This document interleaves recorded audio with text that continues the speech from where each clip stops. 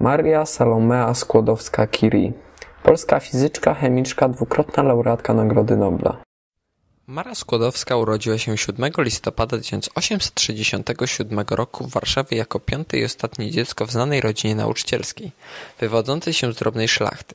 Gdy Maria miała 10 lat, rozpoczęła naukę na pensji dla dziewcząt, którą wcześniej prowadziła jej matka.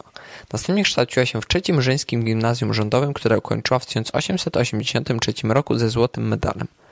W Warszawie Maria poznała Bronisławę Piasecką, nauczycielkę, którą przypełniały idee pozytywizmu.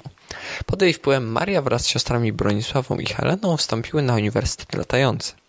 Nazwa wywodzi się od braku stałej siedziby i permanentnych zmian miejsca wykładów.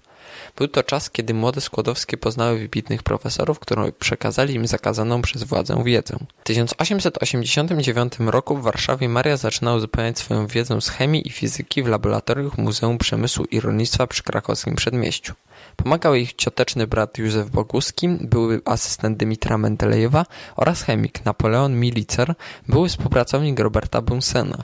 To właśnie oni uczyli młodą składowską analizy chemicznej, którą później mogła wykorzystać przy pracach umożliwiających jej wyizolowanie radu i polonu.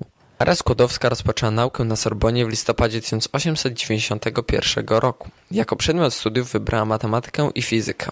Jej nauczycielami akademickimi byli Paul Appel oraz Gabriel Lippmann, wybitni uczeni o światowej sławie. Życie i czas w Paryżu Maria dzieliła pomiędzy naukę na i grę w amatorskim teatrze, gdzie poznała pianistę Ignacego Jana Paderewskiego. Po ukończonych studiach Gabriel Lippmann pomógł Marii otrzymać stypendium naukowe za badania związane z magnetycznymi właściwościami różnych rodzajów stali.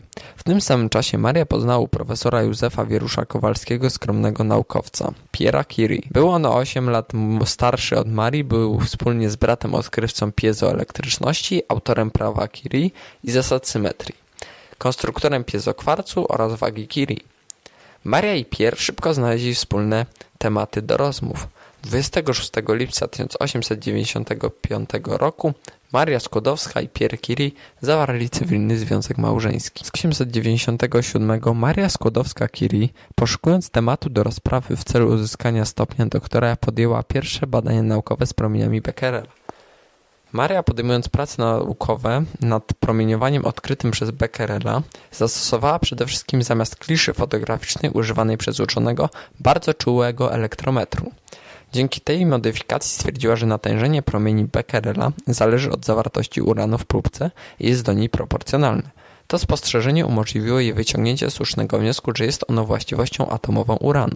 Kolejnym osiągnięciem Marii było udowodnienie, że poza uranem także tor emituje promieniowanie. Maria Curie dowiodła, że emisja promieniowania niektórych minerałów zawierających uran, takich jak blenda smolista, halkolit czy autunit, jest znacznie silniejsza niż wynikałoby to z zawartości uranu w ich składzie.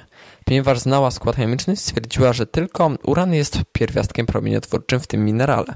Wysunęła więc słuszną hipotezę, że minerał ten musi zawierać domieszkę nowego, nieznanego pierwiastka chemicznego. Maria otrzymała w laboratorium halkolit i udowodniła tym samym, że tworzony sztucznie halkolit emituje słabsze promieniowanie. Był to dowód eksperymentalny na istnienie nowego pierwiastka chemicznego. Do badań Marii dołączył jej mąż. Małżonkowie Curie opracowali metodę wskaźników promieniotwórczych, dzięki czemu określili zdolność promieniowania nowego pierwiastka. Za pomocą przemian chemicznych otrzymali nowy, nieznany dotąd pierwiastek chemiczny.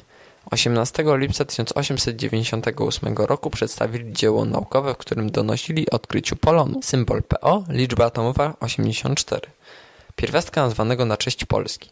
Na kolejny sukces małżonkowie Curie nie musieli zbyt długo czekać. 26 grudnia 1898 roku wspólnie z Gustawem Bemontem donieśli o odkryciu kolejnego pierwiastka chemicznego radu, symbol Ra, liczba atomowa 88. Całokształt pracy Maria Curie Skłodowska została w 1903 roku uhonorowana Noblem w dziedzinie fizyki wraz z mężem Piotrem Curie oraz Becquerelem za pracę nad promieniotwórczością oraz w tym samym roku otrzymała również tytuł doktora nauk fizycznych Uniwersytetu Paryskiego. W 1911 roku otrzymała Nobla w dziedzinie chemii za rozwój chemii dzięki odkryciu polonu i radu oraz za zbadanie metalicznego radu i jego związków chemicznych.